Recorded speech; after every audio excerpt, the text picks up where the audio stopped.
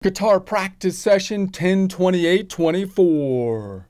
These are fairly sloppy practice sessions where I practice whatever I think I need to be working on, then give you a recap so you get an idea of what you're getting into. This, of course, being that recap, hoping the practice sessions generate a routine, help me to verbalize what I'm trying to learn, to get it in my mind better, provide information to others that might be working on a similar thing, and possibly provide for feedback if anybody sees a different or better way to try to learn the things I'm trying to learn. I do think that presenting the information all as though somebody is listening, even if no one is, is useful because it helps us to articulate the things in our mind in a way we might not otherwise do. Therefore, if you want to take these resources and make your own practice session, you can do that. I'll try to provide, like the worksheet, for example. Don't worry about plagiarism. You can do whatever you want uh, with the worksheet and it's going to be orientated from the perspective of playing the guitar, looking to utilize uh, the that perspective as best we can so we can just focus on the positions here. So that means that I'm going to have, if we put the guitar on the screen, strings first, top to bottom, the top string being the one closest to the ceiling, the heavy E string, top to bottom, left to right, same orientation that we're looking at from behind the guitar. I'm going to flip my guitar around on the screen so it looks like I'm left-handed. So once again, the orientation is the same as the worksheet, which is the same from your perspective from behind the guitar. We're this time going to be focusing in on, once again, the minor scale. We're going to be looking at the bottom strings and, and looking at the relative uh, third position.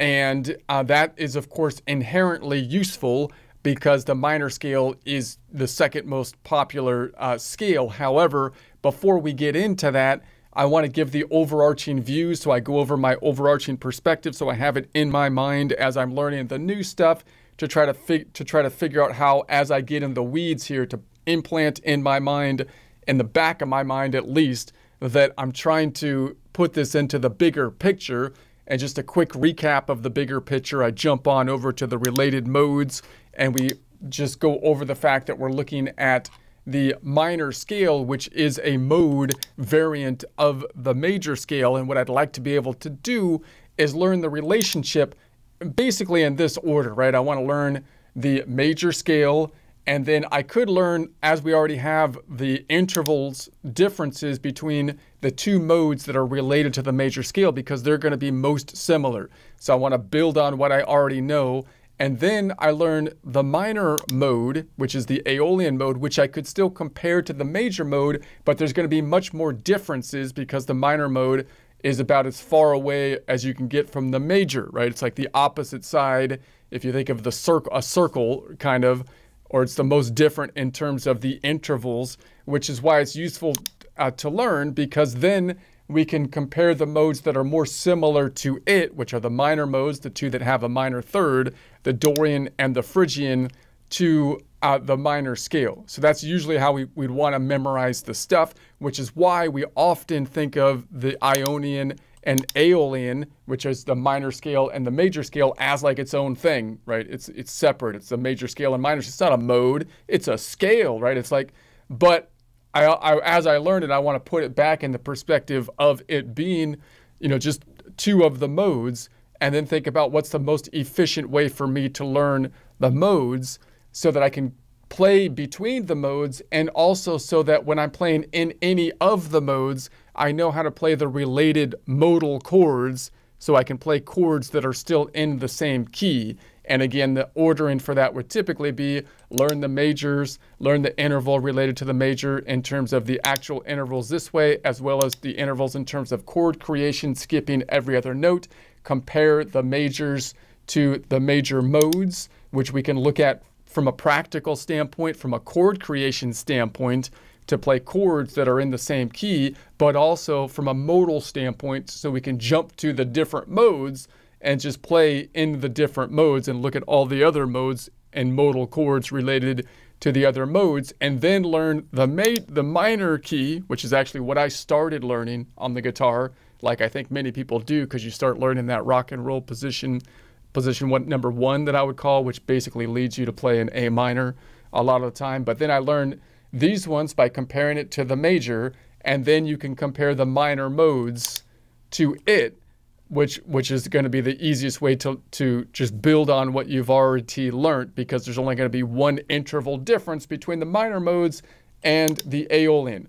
So that's what we're working on now. We go then to the to the minor over here and we look at the the last three strings because we did the top three strings yesterday.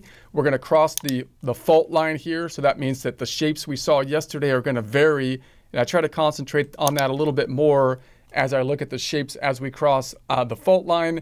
And then once we get the interval, I'll add the fifth so we can look at the common chord constructions. And uh, that's going to be what we will continue to do today. I do a joke in there somewhere, still somewhat political season, so it's got a little bit of politics in it. So if you want to skip it, uh, you could skip it if that's going to uh, annoy you. It's not here to annoy you or anything, you know. But I think, you know, it's the funny, you know, funny things are often annoying things to many people. That's part of the part of the, the thing anyway. So that's my practice joke.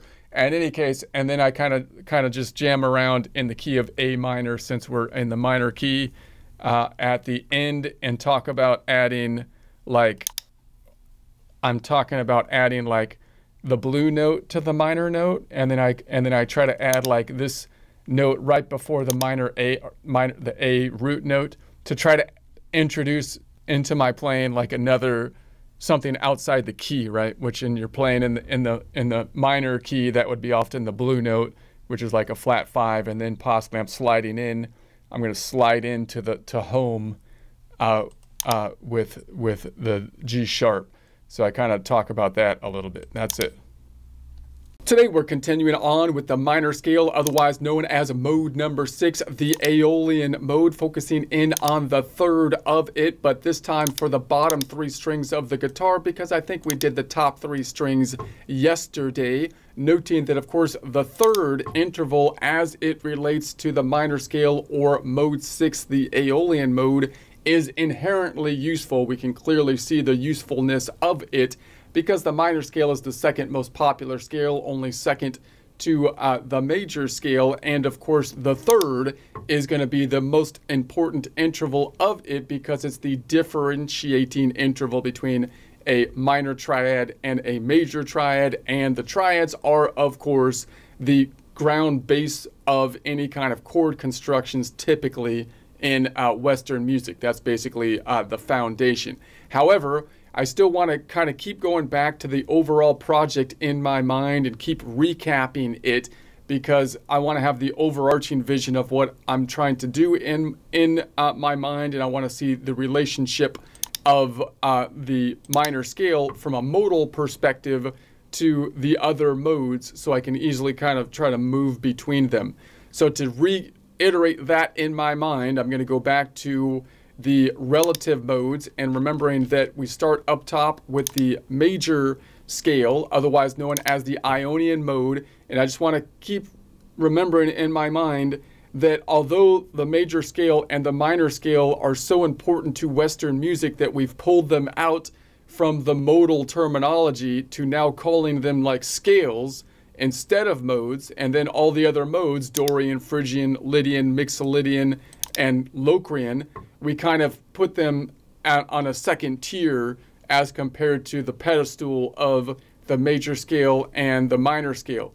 But uh, when we look at them from just a modal structure, they're just kind of two no nodes in the modal structure, two nodes in the tapestry. They all fit together, and we can look at the, the whole thing from any perspective, kind of like, again, from a physics standpoint.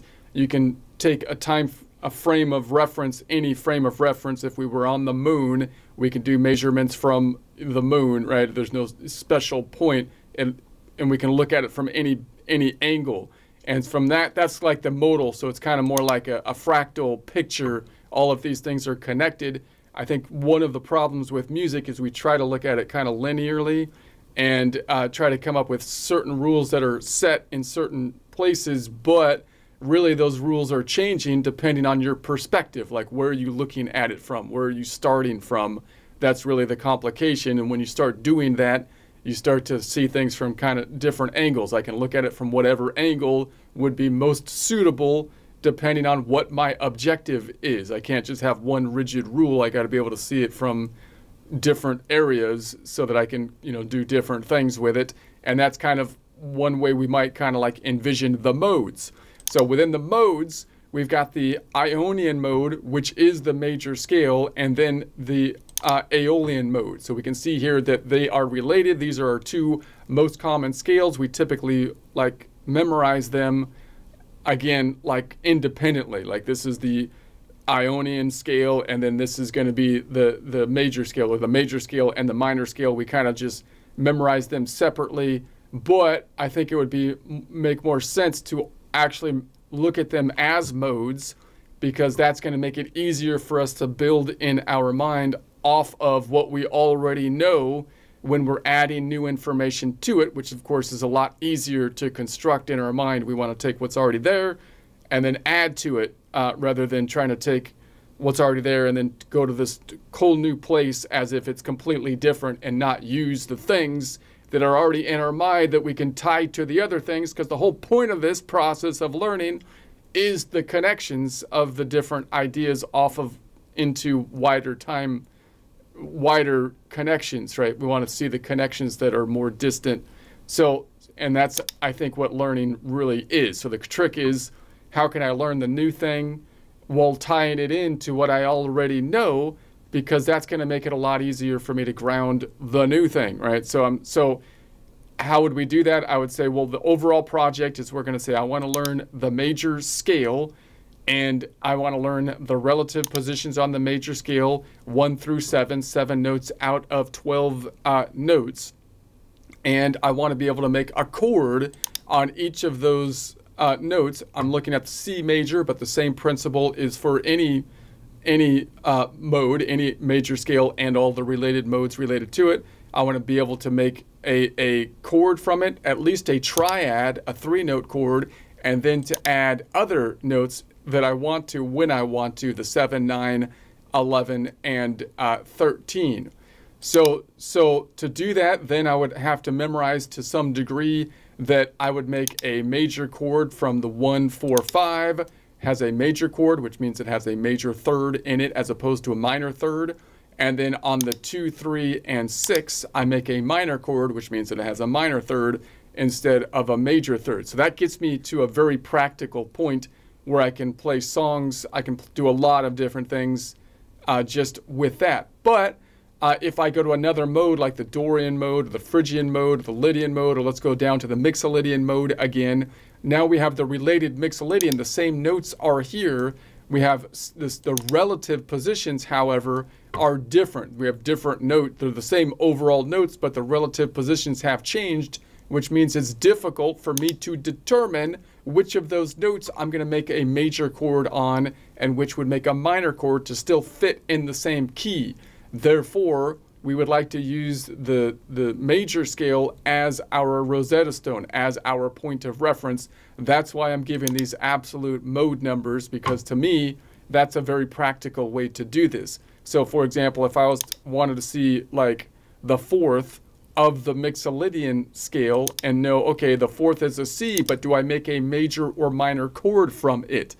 Well, I could say, well, uh, if I go back up top and I say, well, the fourth, if I'm on Mixolydian and I use this numbering system to number the modes, I could see the fourth would be the Lydian. So the fourth, in essence, is the Lydian mode, right? So if I'm actually playing in uh, the Lydian mode, I can see the Lydian mode, it's the fourth, which means that if I was on the first, it's one, two, three steps down. Or in other words, it's four minus one three steps down. So the formula would be, if I'm looking for the fourth of the Mixolydian, it would be the mode that I'm, I'm sorry, the, what was I on? Now I went to the Lydian. if I was on the fourth of the Lydian, I would say that I'm going to take the Lydian, 4, uh, minus 1 would be 3, plus the relative position of the Lydian, and that would be 4, 5, 6, 7, which would get me to mode number seven or the seventh relative position in the major scale, which happens to be the funny one, the Locrian uh, one. So I'd know, okay, that's the diminished uh, one that we would have to deal with in, in that particular case. So that gives, that's a, a practical way to try to get out of just playing in the major scale so we can also play in, in the other modes. And we have the same problem, of course, with the minor scale, which is what our focus is on here, because the minor scale is the Aeolian mode related to the major scale. So it's the sixth uh, of uh, the major scale. So in the A, in this case, the A minor is the same notes as the C major, but again, the relative positions are different. We have relative positions one through seven and a different ordering of the notes based on us looking from the perspective of starting at the sixth, thinking of the notes as a circle, and then basically going around the notes that way, which happens to generate, if I choose every other note, the, the, the, the, the chord constructions here. Now, so I could do the same thing here and say, okay, with the minors, I could say I need if I want to see do I make a major or minor chord off of the notes in the minor scale? Well, I can say the minor scale is the sixth of the major scale. So if I'm looking at say the fifth of the minor scale, I would take the sixth mode Aeolian minus one plus five would be uh, six six minus one would be five, which would be ten. And because there's only seven modes, 10 minus 7 would be 3. And that gives us to mode number 3, or the third relative position to the major scale. And I know that the 2, 3, and 6 is where I make a minor chord relative to the major scale. Therefore, this E, I can make, I know I make a minor chord from it, which would fit in the Aeolian. Now, however, because the Aeolian is, is so important, the minor scale is so important, you might just memorize the relative positions for it outright uh, so that you can compare the other minor modes, Dorian and Phrygian, to the Aeolian or the main minor scale. And we can compare the major modes, which are going to be the Lydian and Mixolydian, to the main major, which is, of course, the Ionian mode.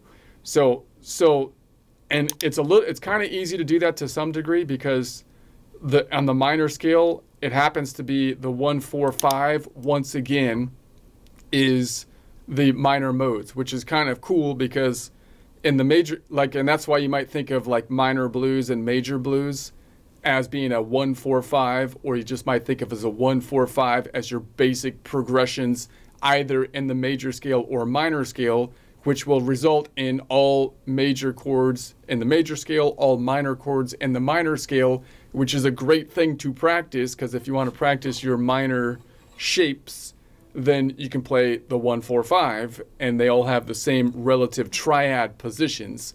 And so that's great. So I can memorize that because I can say, well, that's it's mirroring what happens on the major. I'm trying to build off of what I already know on the major and find different ways to kind of think about it. Say, okay, the 145 on the major is is uh, the the three majors, and then the 145 on relative positions to the minors. So the one, four, five gives me the the the the, the, the, the three minor chords in a minor. Now the other the, the thing that doesn't match is if I go to the major up top, it's like okay, well where are the if I went to the major, I have the one, four, five are going to be the major chord constructions, and then it's usually the two, three, and six are minor, and then that weird one is on uh, the diminished is on the seven.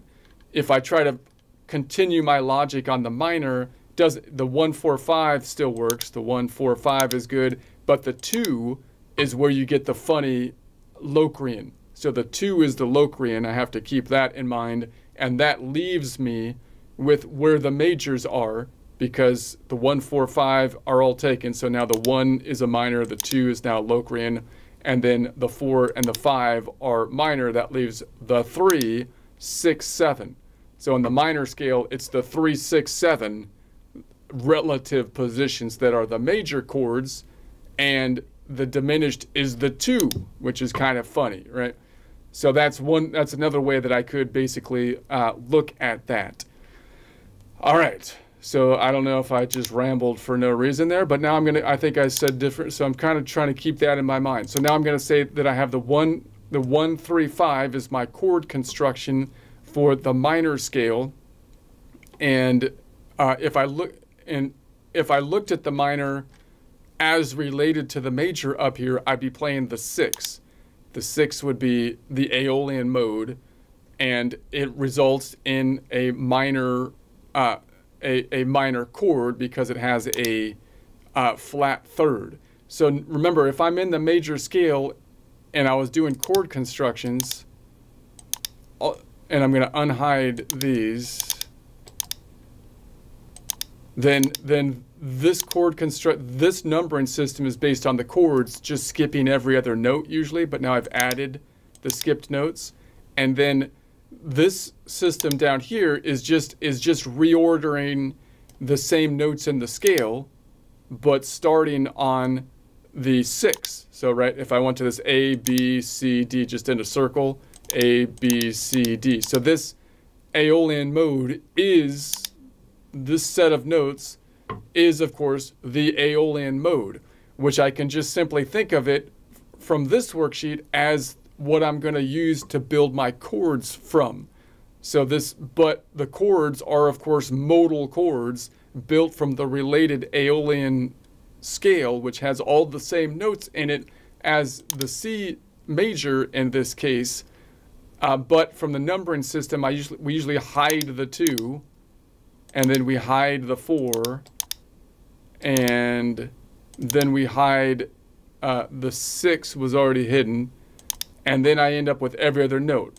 I, I had the six, right? If I had unhid the six, there's, you know, the six, and then I hide the six. So now we, now we take every other note, that's how we build a chord. So we just take the one, three, five, and that's gonna be our, our chord construction. And then we can, so our project then is gonna be that, that on the, on the major scales, I take all of these intervals and think about them from the major scale. And then I try to figure out what's different, which intervals are different.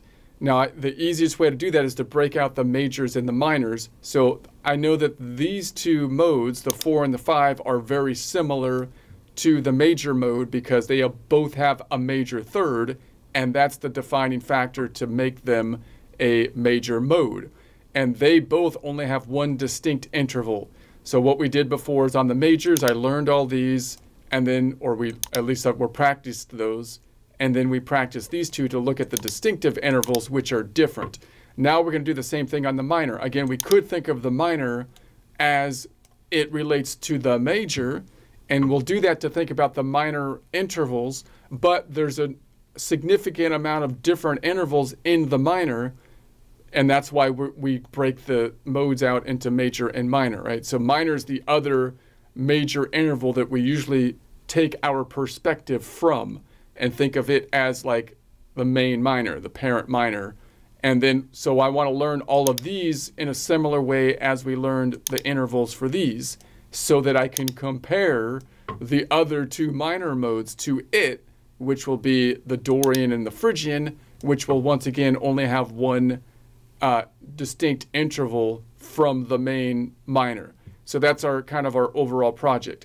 So when I when we look at the minor mode, I can look at the intervals as though I'm playing the six and look at the intervals that are different from the the one, or I can of course think of myself as being in the minor mode and thinking of it as the main minor, which I want to memorize almost as important as memorizing the intervals for the main major because it gives me access then to compare the other minor modes to it. Uh, and that, so that's the idea. So that's my whole project. All right. That was a long rant, man. I don't even know if I, like, what are you even talking about? I think I'm dizzy.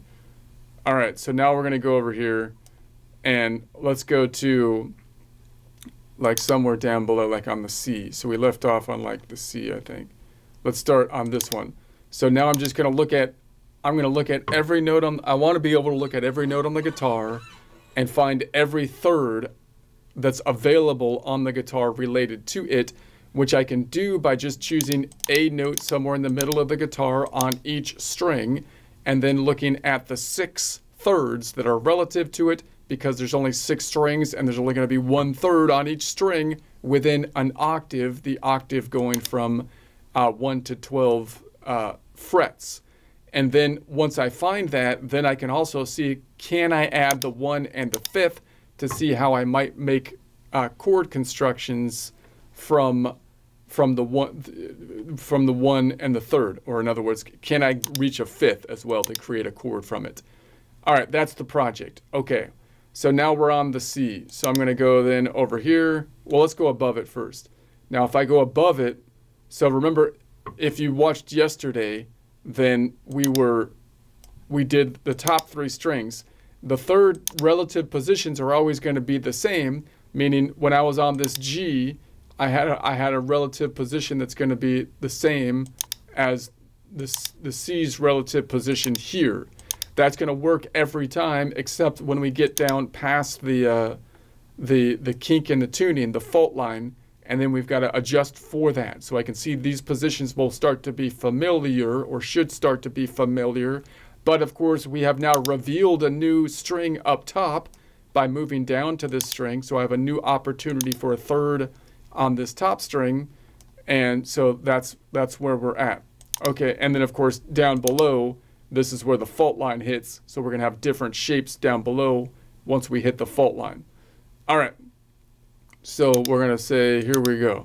So if I'm going above it, I wanna find the inverse. So if I'm looking at a three note away uh, minor third, three note away minor third, the inverse is 12 minus three, which is 9, which would be a major 6. So if I count up, it would be 5, and then 6, 7, 8, 9. So this would be from here to here, there's a distance between those two notes of 9 notes away from top to bottom, and therefore the inverse is a 3 note away minor third. So I'm going to go from here to here uh, on the D. Okay.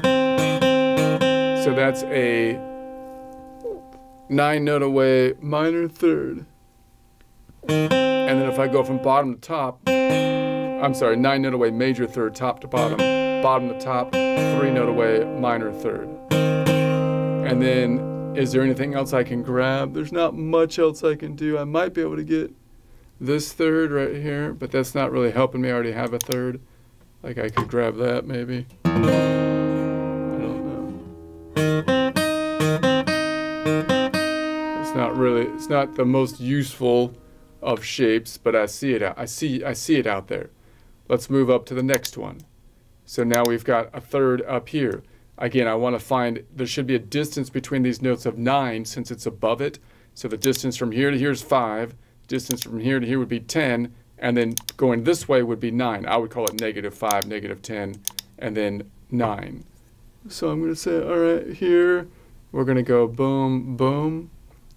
So I want to start to see that shape as a, from, from top to bottom, it would be a nine note away. Now hold on a second.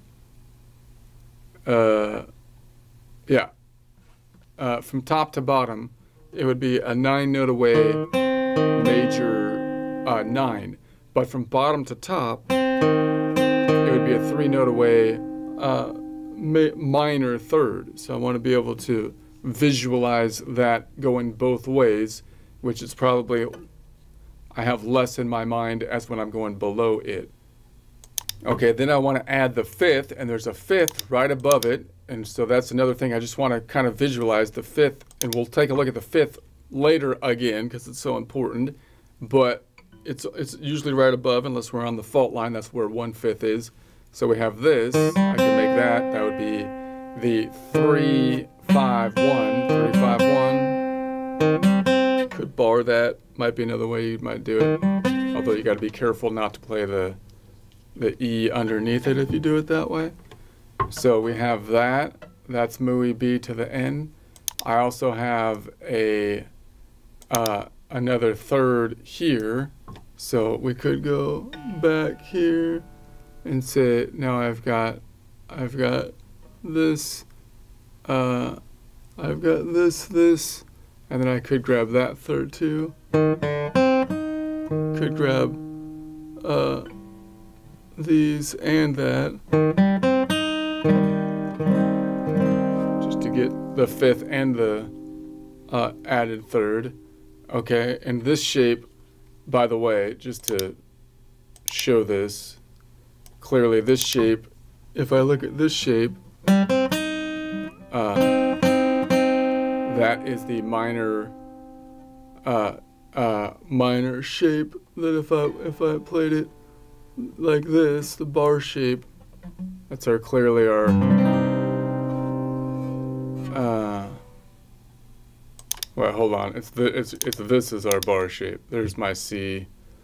I'm right so that would be our A minor uh, our A minor bar that's in the key of C which now I could break down to to to just these three notes if I wanted to that we were doing and I could add this one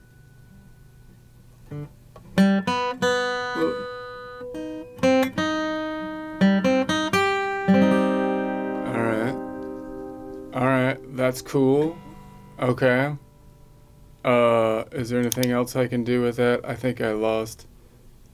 What am I doing? So now I'm down. So I was supposed to be on that third. This is where I'm supposed to be going up here. I got distracted. Oh my goodness. Alright, so then I can go boom. There's that third here. And then there's a fifth. So I could do that.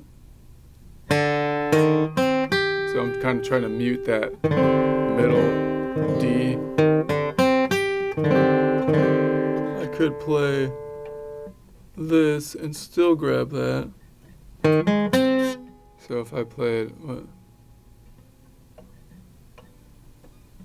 Oh, now I messed up again. I'm on the C. And then I can grab down here. That's not gonna work. That's not gonna work.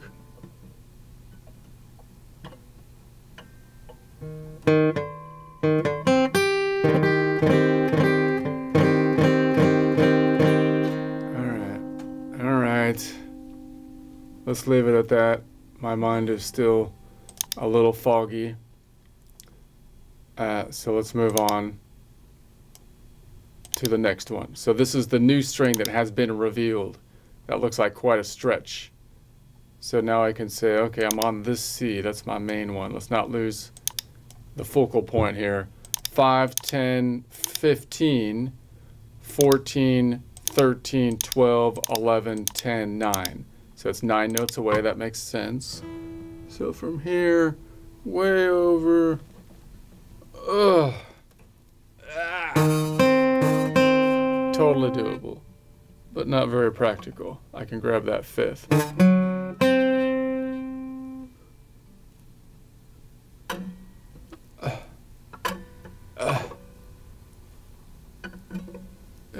Yeah, that's not really practical. But I see you out there.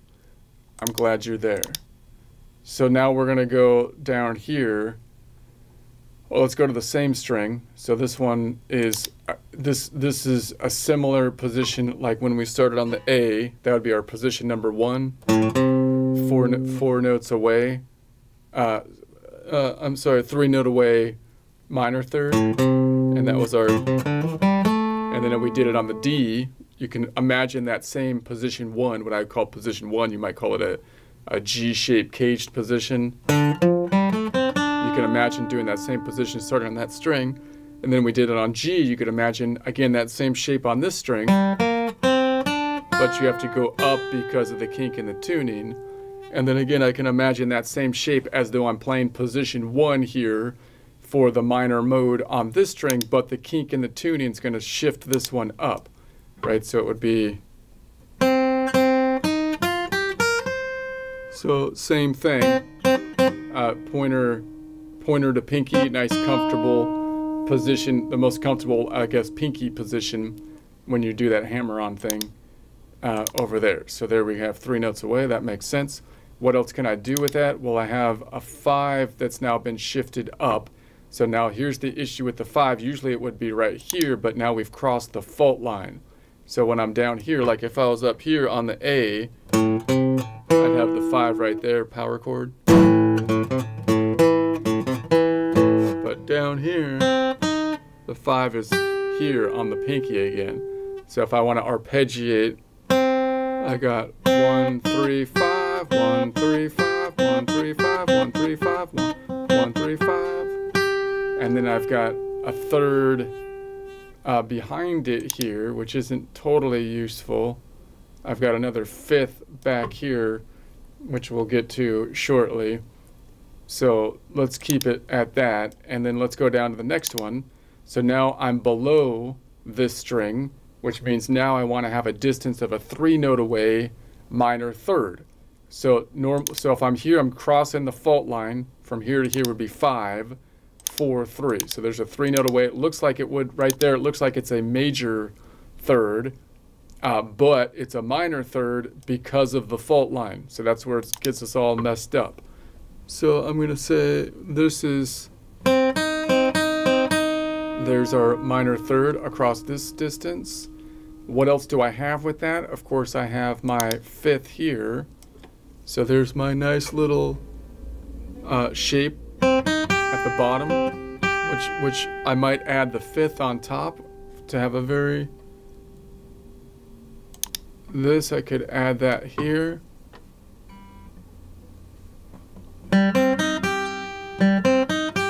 And of course that's part of our bar shape, so I could add the full bar like that, and there's my A minor bar shape. Alright. In the key of C, it's a C, but it's an A minor bar shape. Yeah, we know what you we know what you meant. Okay, just making sure. Alright, so then obviously I have a I have this one up here we saw that shape before so I could break it out this way alright cool and then that's basically it you know I have a G way out here that's not that's not doable is it on the 10 if I was to pick up like that minor and then try to reach out to the 10. Yeah, you're kidding. You're kidding yourself. If I reached out to that G, I'd have to grab like a third over here. Yeah, come on. Come on, man. Come on, man. All right, let's go down to the next one. So this one, we saw that the 11 up here, same note down here then on the 11. So, and, uh, and once again, that's going to be a difficult reach. I could do it. Alright, but not very practical. Okay, so that's going to be that one. Let's go to the next one, maybe the E down here. Crossing the fault line. Uh, before that, let's do a joke. Halftime break joke here. somewhat political, kind of half rant. Uh, so if that's going to bother you, you could uh, you could fast forward. But this is my practice session joke here, a little bit longer. I'm going to need some coffee on this one. This is a long one. I was inspired with my joke writing yesterday, and I had I no, it's not that great, but it's long, so that makes up for it. All right. Uh, am I am I the only one feeling a bit gaslit by the Harris campaign's claim that the founders' intentions regarding the right to bear arms meant that we're allowed to to wear like sleeveless T-shirts? You know, I mean, I'm a I'm a I'm I'm proud of these muscular guns over here, you know, but and I, I can understand obviously why there should be a law allowing people to see these bad dogs. But but I don't think my muscular guns are going to hold up hold up to a truck of terrorists with AKs rolling up, you know? I mean, I mean, what what if the king of England tries stepping into my house? You know, like it, it's it's it's the it's it's the American dream of every school child to imagine the king of England crossing that door frame and then putting him down like Bambi's dad during hunting season. Okay, maybe that's a bit far. I mean, maybe I could just dream of shooting the crown off the king's head and, and making him swim back home while clutching for life a barrel of discarded tea. I'm just kidding. You know, the royal family doesn't look all that all that dangerous at this point, to be honest. But still, plus, after the after the next woke remake, you know, Bambi probably won't even have a dad. Bambi won't even have a dad after. I mean, it. it okay, it should be more like I'll put down, put him down like Bambi's butch second mom who grew horns on her head after injecting copious amounts of testosterone directly into her deer veins, bulking up her deer body until everyone exclaimed, Dear God! And she's like, That's right. I am now a deer God. Do, re, mi, so. No, that's no do. It doesn't matter though. The point is American Americans need to be able to dream about shooting stuff. Plus the dang lefties have gone too far even with the, the bearing of arms being the, the use of sleeveless t-shirts thing. Now allowing giant hulkish hairy right to bear arms in the women's bathroom for crying out loud. Surely that's not what the founders intended.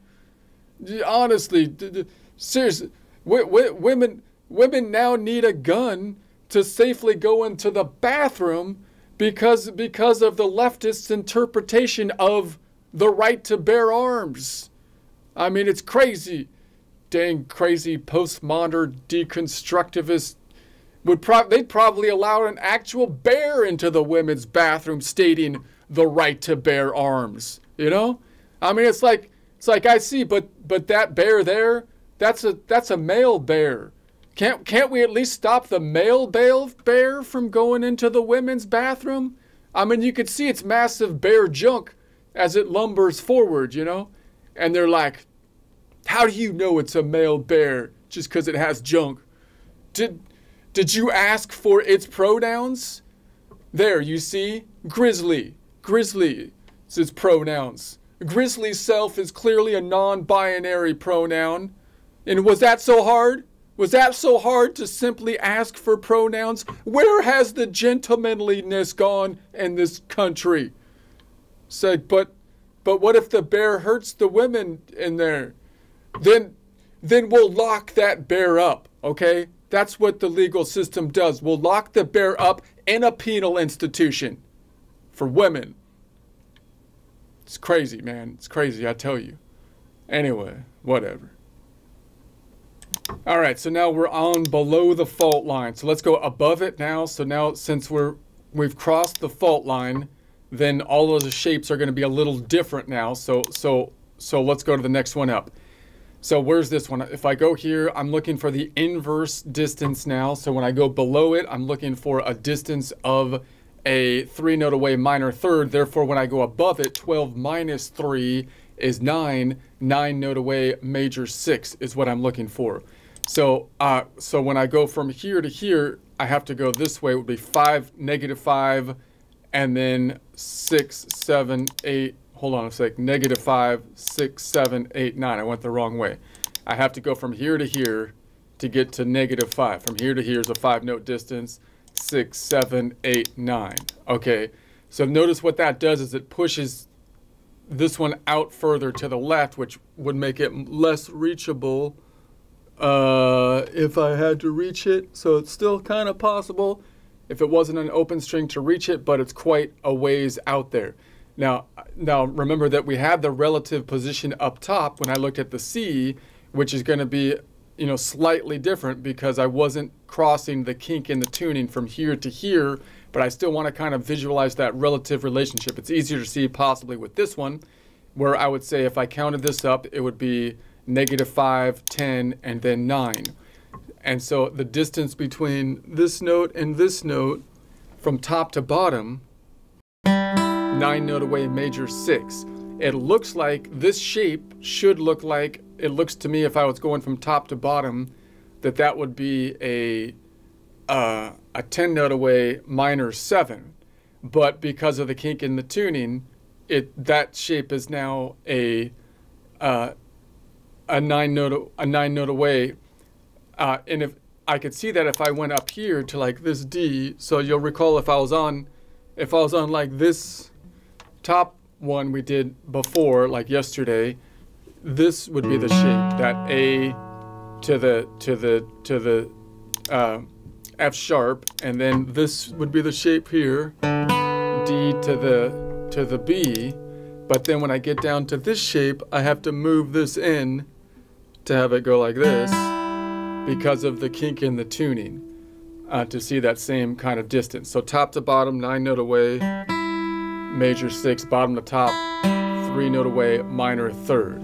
Okay, so then obviously I have a fifth right here conveniently. So I have this shape, boom.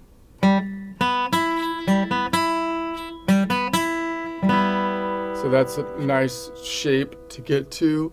I could add this to it, like that. So add another third at the bottom, or I could try to grab another root on the top. This is kind of like the minor C shape from a caged system, which is the wonky one. So I could try to add that E, which is a very hard thing to grab while grabbing these two. So more likely I would have to drop, uh, uh, more likely I would be doing like this. So when I'm looking at this minor shape, the convenient thing to do is say I'm playing that minor shape and then drop down to this minor shape.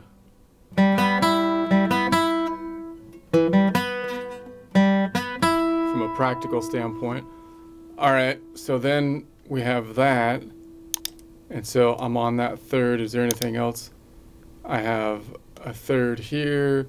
I have a third up top, that, that or a fifth up top.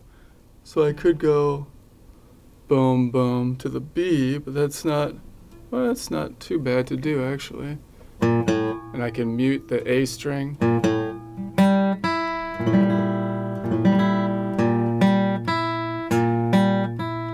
Wait a sec, that's, no, that's not right.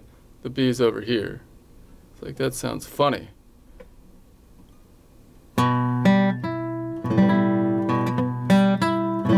So that's an unusual voicing. Probably uh, might could be useful. Maybe I could play with that. And then I've got another one down here, of course, a fifth down here. So I have.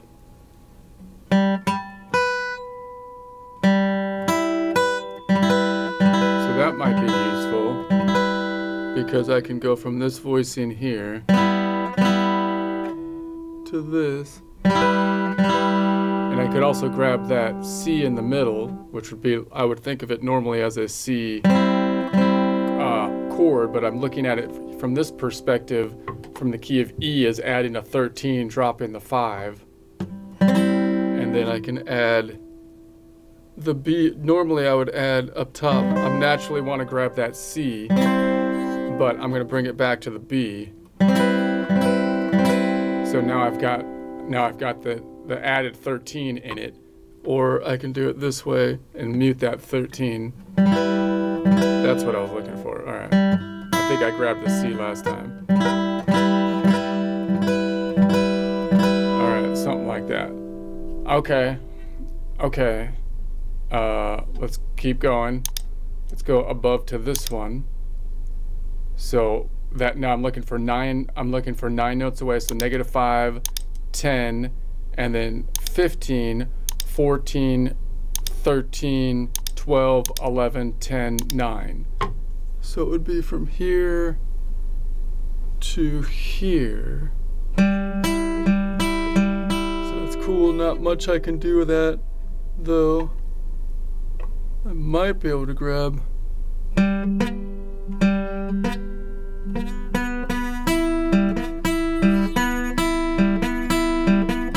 Almost doable to do that because I'm grabbing the five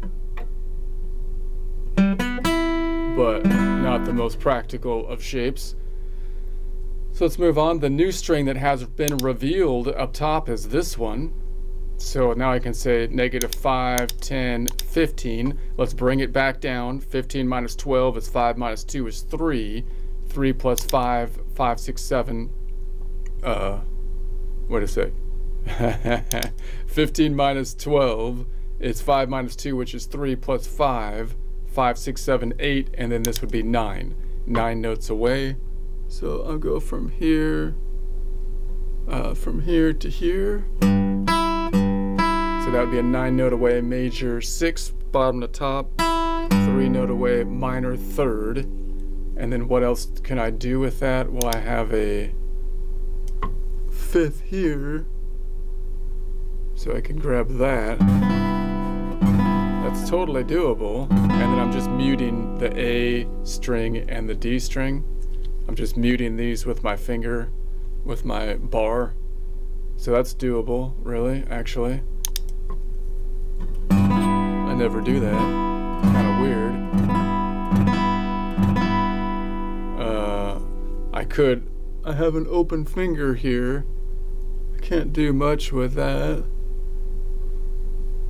There's nothing really to grab except this string. I could try to, it's just useless. I could try to bar, I can grab that one. And then, oh no, I can grab that 13. I can grab this, which is a 9. And then I can bar this one. That's interesting. So that would be the 3, and then the C is a 13 if I want to bar that, or I can not, I can just not play it and then I've got the the nine, and then the five, and the one.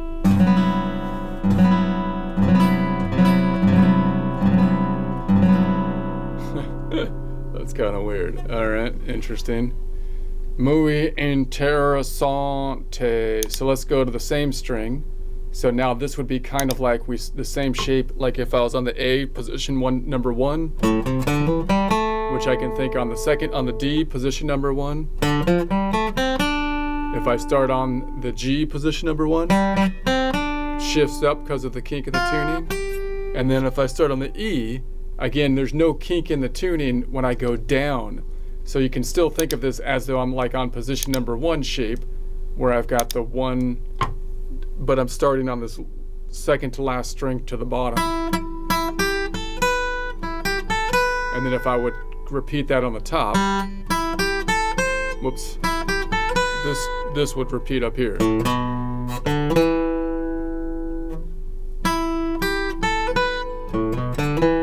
Okay, so in any case, that's a three note away, uh, minor third, and then I have my fifth in the familiar position again down here because there's no kink in the tuning. It's under these because this whole plate, this whole plate tectonic has moved up.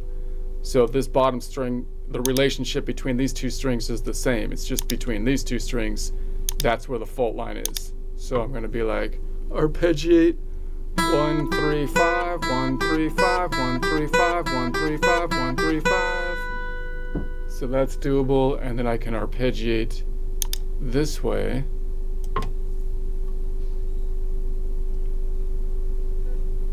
One, three, five, one, one, one, three, five, one, three, five, one, one, three, five. I can kind of arpeggiate that way, at least. If I knew, if I was good at it, I could do it. All right, let's move on to the next one. Last one, we'll go to the A. Let's go back on up. Moving on up. So now when I go to this one, the distance between these two strings should be basically the same, but then here's the fault line. So anytime I cross the fault line, it's gonna be a little bit, it's gonna be a different shape than when I was up here.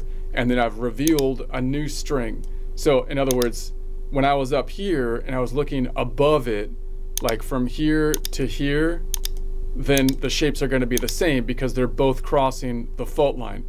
Like when I was on this E and I go up to this C, those shapes are not going to be the same as going from A to E because there's no fault line between these two. But when I was going from this string to this string, that crosses the fault line and when I go from this string to this string, that also crosses the fault line. So I'm, I'm thinking right now that I should I should be able to see parallel shapes that way when I cross two strings, right? So when I when I just and same if I go from this string to this string, it crosses the fault line. So if I went one, two, four strings up, and then this string one, two, three, four strings up, crosses the fault line. So I should be able to see, uh, even though the fault line is is landing in a different spot between those two, it's doing the same thing, shifting up the plate tectonic down here. So it should be a parallel shape, I'm thinking. At least that's what I'm thinking right now. No, I haven't really thought about it that way before. So, so that's going to be the idea. And now, of course, we've revealed a new string up top, uh, and that's the new one. So now let's go on this one. And if I go above it, so now I'm looking for a distance of the inverse between these strings, which is going to be the same distance that we had everything up here. So that would be uh, three note away minor third minus 12. 12 minus 3 is 9. So this would be negative 5, 6, 7, 8, 9. So similarly, up here, we had negative 5, 6, 7, 8, 9, right? Here, and it would be here, and it, you know, same here, 5, 6, 7, 8, 9, right? Negative 5, 6, 7. But then when I went to here, it was negative 5, 6, 7, 8, 9, right? Because it was shifted between these two fault lines. But now we're back to normal, negative 5, 6, 7, 8, 9 if I'm starting from this A. Okay, so can I reach that? So it's going to be the C, it's reachable. It's reachable but not very practical. So that's cool. All right, that's that one. Let's go above it again. So now I'm going to go here. I'm looking for nine note distance. So it would be 5, 10, no, I'm sorry, 5 here, and then 10 here because of the kink in the tuning, and then bringing it back to 9. So note again, I have this distance from C to A, which is a 9 note away major 6 from A to C, bottom to top, therefore inverse 3 note away minor third. That was the same shape when I was looking at this E going up two strings to the G. But when I went up, so so notice that's parallel. But when I went up, uh, when I went up to the, if I went up to the C here, then going, then then the shape is going to be uh, different, right? So in other words, if if I go down like this way, normally I see the the nine. If I looked at the A top to bottom, a nine note away would look like this from the A to this F sharp, and then here it would be like this from uh, the D to the B, and then here from the G, that's when it shifts up because of the kink in the tuning, because now I'm crossing the kink of the tuning down here on this one. Okay, I think that makes sense. All right, so then of course I have an E right in between here, which is our fifth. So this would be the, the roots on the bottom, the five right above it like normal, and then the third. Okay, so that's cool. That's a nice convenient little shape. And then if I could grab this one up top, I can actually put an A on top of it. So I can go. And of course this whole shape is part of my bar shape. If I went all the way to the top, like this. A, E, A, 1, 5, 3, or yeah, 1, 5, 1, 3, 5, 1. Okay. And then I can go, I could go, you know, just those three at the same kind of bar shape. All right, let's move on.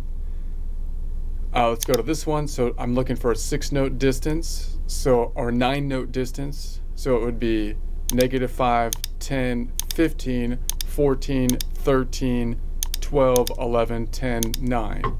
So I'm on here going to the C on the 10th fret right there.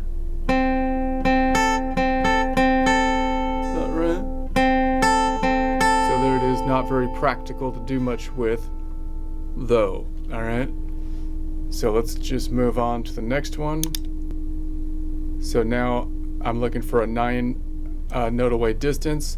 Ne so negative five, negative 10, negative 15. Let's bring it back down. 15 minus 12, 5 minus 2 is 3, plus 5 is 8, and this brings me to 9. So that makes sense. So now I'm going from here to here. This should be the same distance or the same shape that I had when I was up on this string, the E, going to this G, but it would be a different shape if I go to, from the C uh, because of the kink in the tuning. So let's go from here to here. Is there anything else I can do with this? I have an E right above it this time. Now that that fifth is in a different place than when I was on the E here because again, now this one didn't cross the kink in the tuning. The kink in the tuning, man, it's a nightmare. All right, so then I got, I'm gonna mute these two. So that's kind of interesting. I could try to uh, bar this. So I could I could grab might as well grab this three while I'm here. So now I've got, that's kind of cool. So it kind of looks like an A shape, but it's not because I'm grabbing.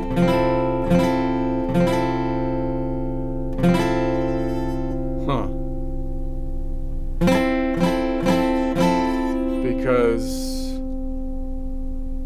it it's not so that's interesting because I could grab this G and that would be throwing in the 7 and if I look at that shape then it would look like a C major A shape bar shape but I'm looking at it from the perspective of an A minor that has a 7 included in it. Oh my goodness, that's hurting my head. Just stop. Just stop. Okay. So then, uh, let's just stop it there. All right, let me noodle around a bit. I'm just kind of noodling around in the key of a minor key. So what was I? I was kind of playing with like.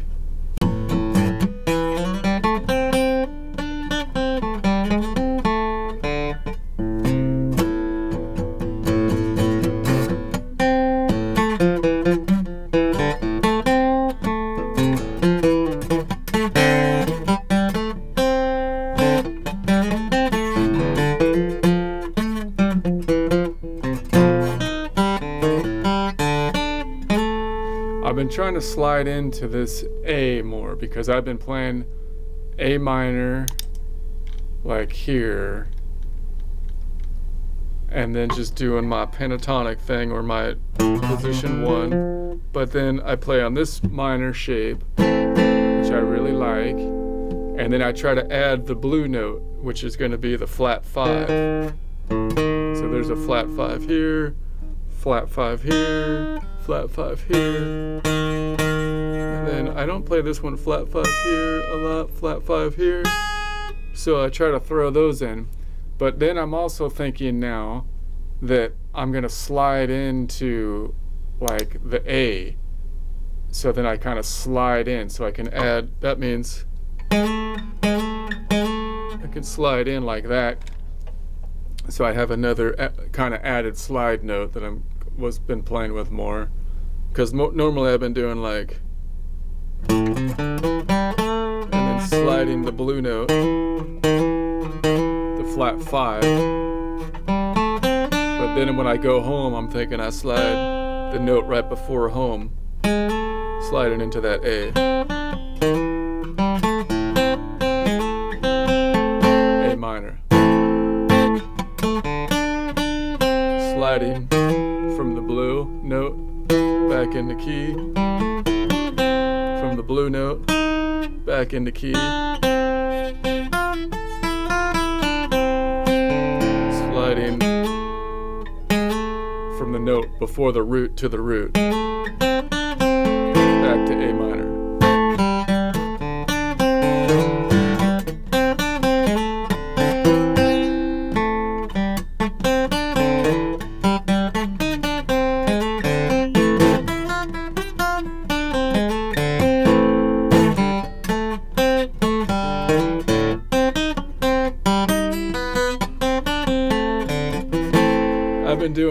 Too because this is a this is the also the the blues note. So I like.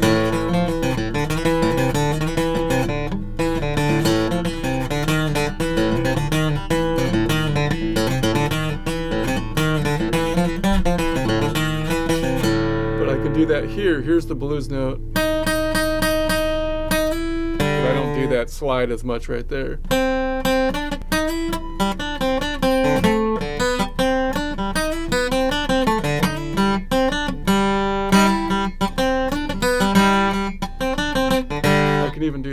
Strings.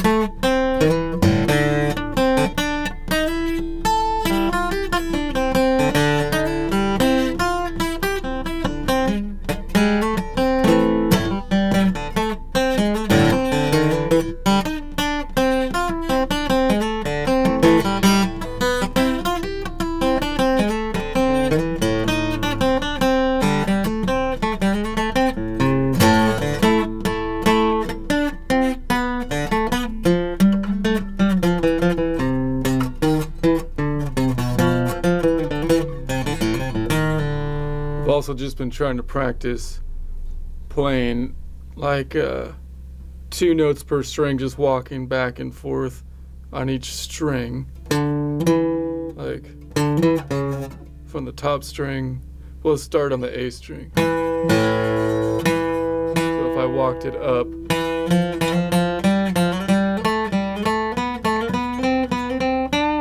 and then I ended off with an A chord, walking it back. And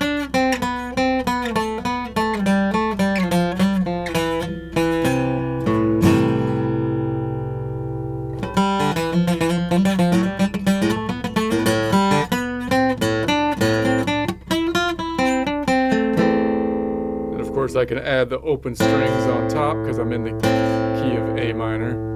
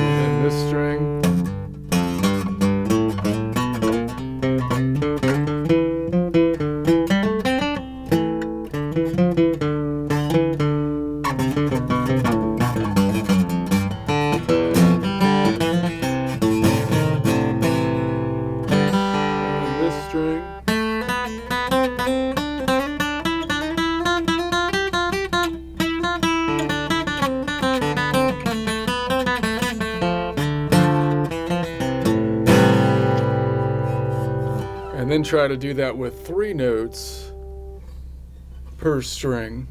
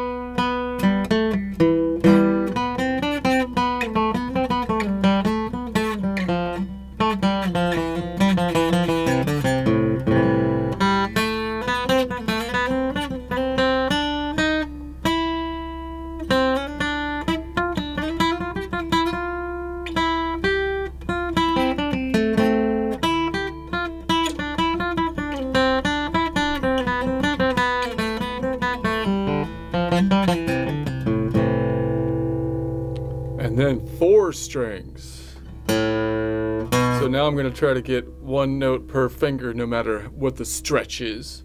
So if I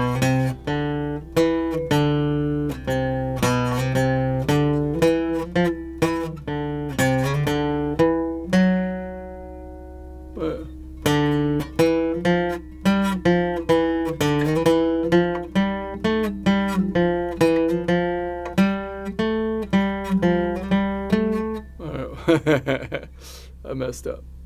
Alright. Let's start it from here.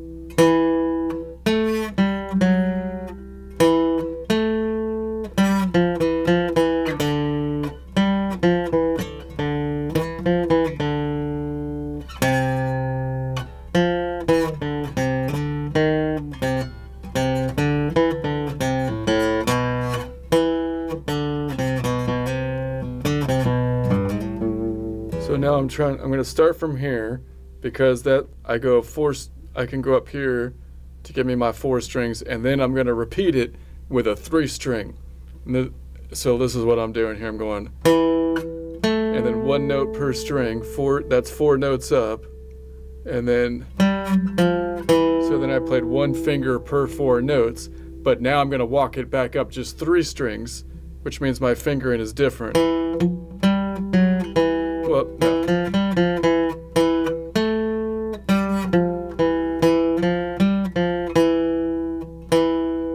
Here I'm using my pinky up here, and then my ring finger, and then my middle, and then I need I need to learn my fingering. They had some kind of fingering shorthand for calling it, but whatever, pointer. But then when I go back up, I go pointer, middle, and then pinky. I don't hit this one with my ring. I hit it with my pinky because I'm only going three notes up.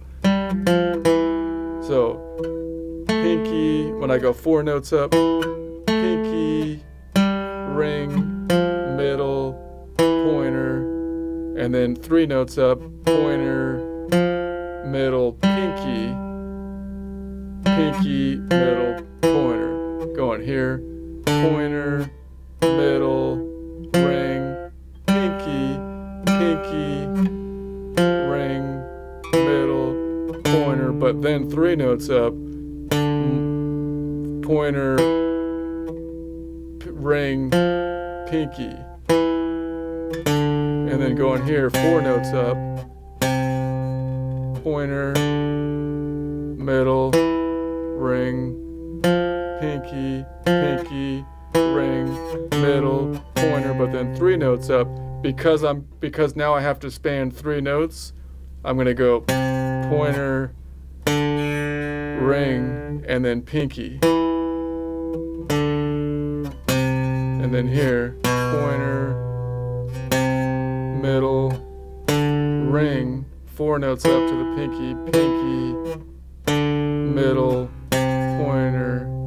I'm sorry, and then and then three notes up, pointer, middle, and then pinky. I'm not sure that's the best way to do it, but that's what I that's what I've been I'm learning. You might not want to learn this until you verify that it's the best way to do it because I might be practicing it wrong, which is a really stupid thing to do. But I think it's the best way based on what I'm seeing right now. I'm going